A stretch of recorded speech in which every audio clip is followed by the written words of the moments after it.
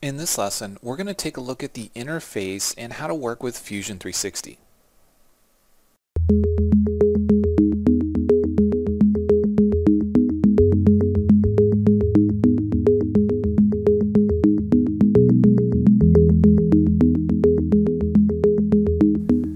Thanks for tuning in guys and hopefully everybody got Fusion 360 installed and up and running without any problems.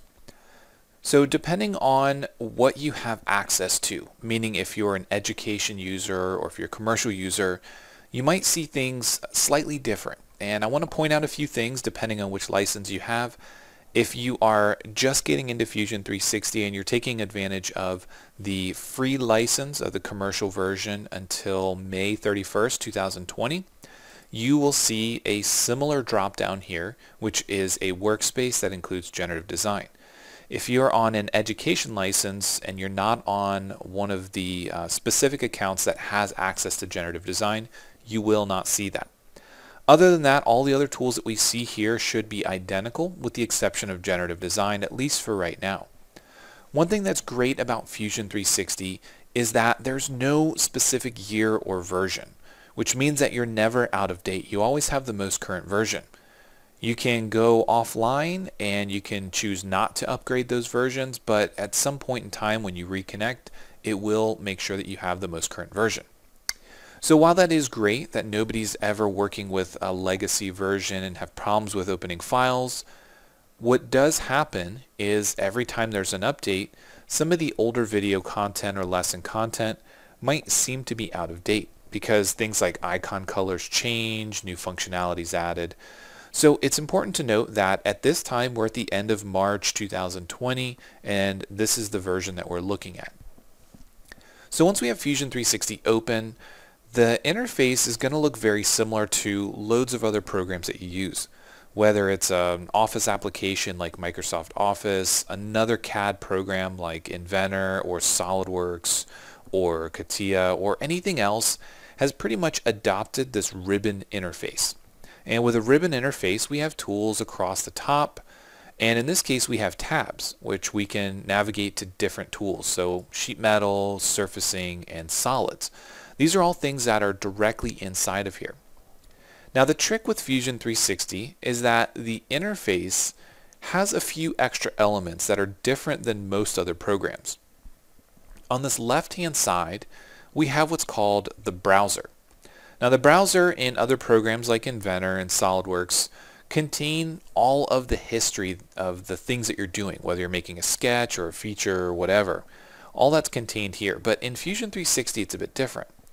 The browser contains information about bodies and components, which we're going to talk about a little bit later. Don't worry too much about those names just yet. It has our document settings, things like what units we're working in, it has information about named views, which are the top front right, and we can also create custom named views, which again we'll do at a later time, and our coordinate system. As we begin to create new components to make assemblies or create new bodies or sketches, we'll get more things here. We'll get folders. So if I select a sketch, which again, don't follow along just yet, we'll, we'll worry about creating these elements later. If I create a sketch, now I have a sketches folder that contains that sketch. What you will notice is at the bottom of the screen, we now have a sketch here. Now what we see at the bottom is called the timeline. And the timeline is going to contain all of that history-based information. Before we go too far into this and you try to follow along, it's important to note that Fusion has a lot of different variations in the ways that you can model. Right now we are capturing history and later on as we begin to design I'll talk about how we can turn that off and then the timeline will disappear. We can basically have a free-for-all begin modeling, creating features and sketches and not record what's happening. We can turn that on and off at any time but anytime you turn it off you're going to lose that history. So our browser's on the left hand side, we have comments at the bottom, again something that we will talk about later, and then we have our features listed across the bottom in the timeline. We have some view options, things like rotate, fit to screen. Uh, we can change our display settings if we want to make the visual style shaded or wireframe, so on. As we begin to model, we'll start talking about all these elements as they make sense. Right now we have a blank screen or a canvas, which is called in Fusion 360, so it doesn't make much sense. The top right hand side, we have what's called a view cube. Now if you've been using any other Autodesk program such as AutoCAD or Inventor, that's an element that's going to look familiar to you for about the last nine years. They started putting it in the software about 2010, 2011. So it's a common element across several of their mechanical design type CAD packages. At the top, we have a tabbed interface for documents. As we begin to create new documents, they're going to be populating across the top. And then we have information at the top right for things like help. If you go into the help menu and you want to find you know, videos or self-paced learning, this is going to take you to the Design Academy or the help menu. If you select your name, you can go to your Autodesk account, check out your profile, or you can go into Preferences. Preferences is going to be important, especially as you begin to learn Fusion 360. Now the reason it's important is because we have some general settings in here about how we interact with Fusion. Things like how we pan, zoom, or orbit. The way that Fusion does things might be different than another program. So I strongly recommend sticking with Fusion. That's what I do. And I simply just learn the ways in which each of the softwares that I work with operate. But if you're used to doing surfacing work in Alias or you're working in Inventor or SolidWorks or Tinkercad, you can change the option to work in how that program specifically works. You can reverse the zoom direction, enable camera pivots, use gesture-based view navigation. So these are all things that you can turn on and off. And again, I recommend leaving all these as the default and sort of learn to work with the software, but I understand that's difficult, especially if you go back and forth between multiple programs. On the left-hand side, there are going to be options for pretty much everything. Things like uh, whether or not you want to allow 3D sketching of lines and splines in the design workspace. You can turn these options on and off. We're not going to be going through all of these. It's important that you explore them on your own and understand that there are lots of different options and these do change over time. The main thing that I am going to point out is something called preview features. This is something that you don't really see in any other software. The reason it's great in Fusion 360 is again because everybody's working on the same version. Fusion gets updated every time you log on and every time there's a change. You'll get a notification in this little timepiece or this little clock icon. It'll tell you there's a new version. If you want to use it, restart Fusion. But inside of here, we have different options. We have edit in place, we have the mesh workspace. For generative design, you have advanced physics and die casting. Now, it's important to note that even if you're using an education license and you don't have access to generative design, you will still see these options. We have manufacture workspace options, which we'll talk about later. These ones with lock icons, they're specific to Lighthouse accounts. And if you go back up to the top and you take a look at this icon here, uh, it'll tell you that it's uh, very specific to insider programs. So insider programs are going to be uh, specific accounts that have access to these early features for testing and validation.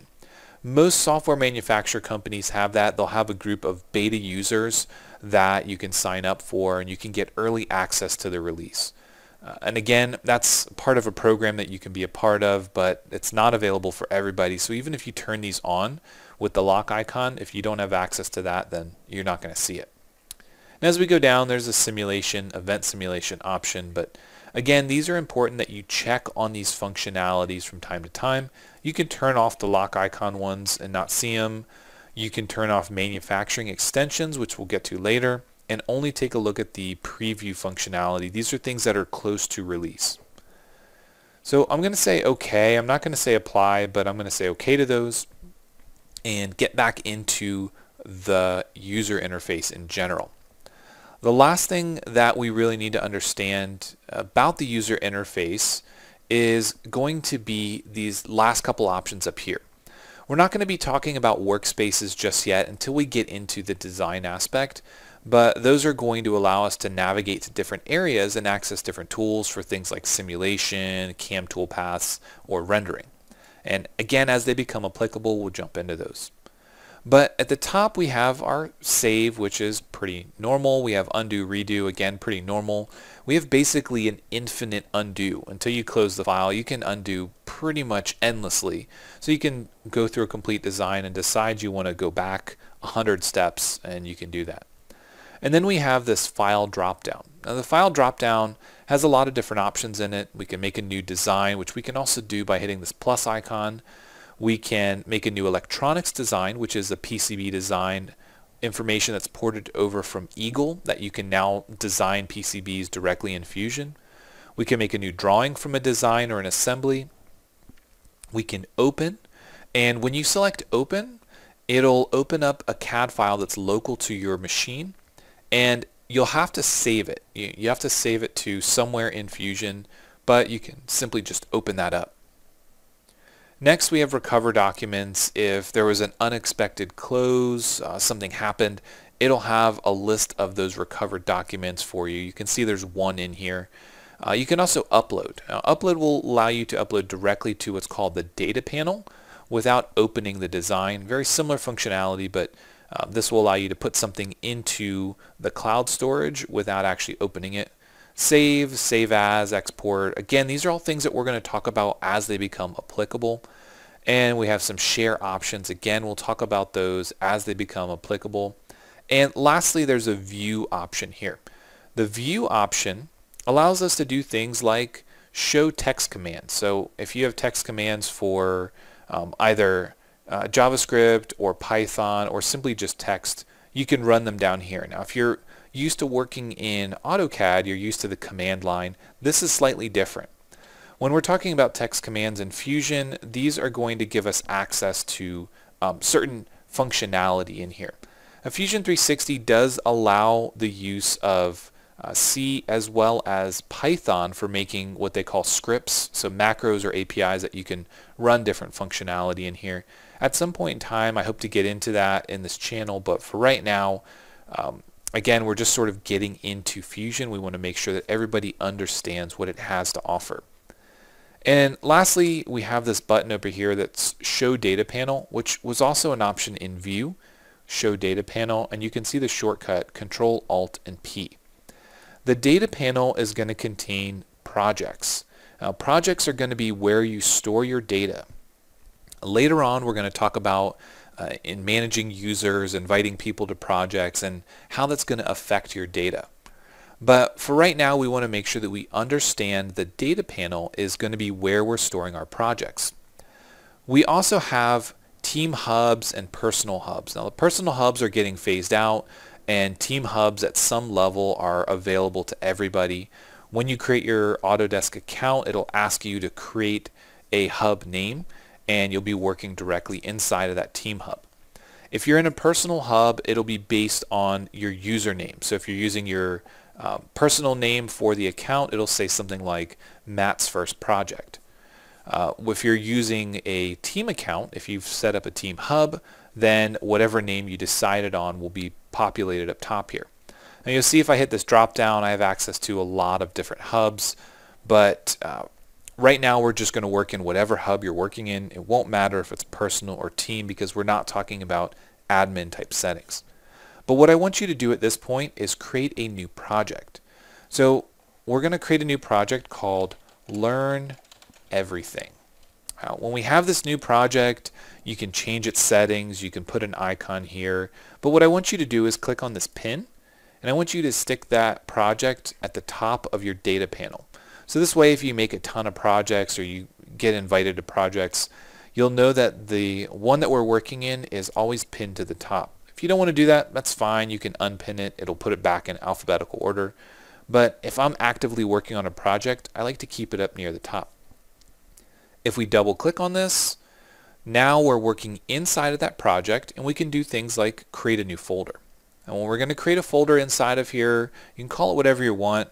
I'm going to call it Design Series 1 because we're going to be creating our own files. We're going to create a basic design. We're going to do simulation on it. We're going to do basic toolpath creation on it. And we're going to just talk about the process of using Fusion and, and navigating through those workspaces. So it's going to be our first design series, a very simple introduction to working in Fusion 360. But now we have a project and we have a subfolder where we want to save our first design. We're not ready to create our design yet. We're going to do that in the next lesson.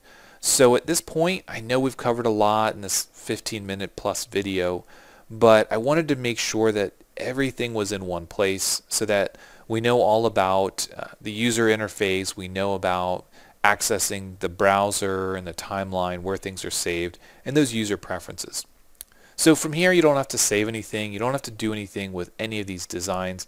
Just make sure that you have Fusion installed, that you've created that new project, and that you've added that first folder because that's where we're going to be working in for the rest of these videos.